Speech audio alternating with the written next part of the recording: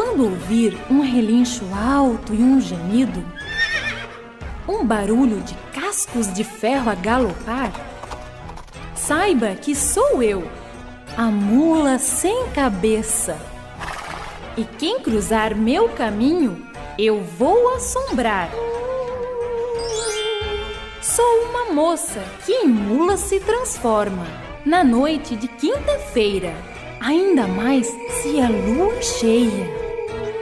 Fiquei assim por ser a mulher do padre, e antes de virar mula, dizem que eu não era feia.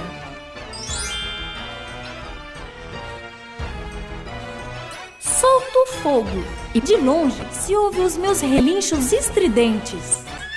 Os meus cascos são de ferro ou de prata. Galopo a noite toda e eles são bem resistentes. Para me desencantar, precisa ser corajoso.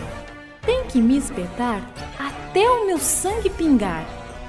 Um outro jeito é tirar fora o meu cabresto.